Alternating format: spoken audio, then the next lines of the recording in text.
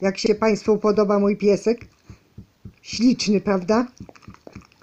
Najpierw zabaweczką się bawi, potem ją wypruwa, a następnie śpi.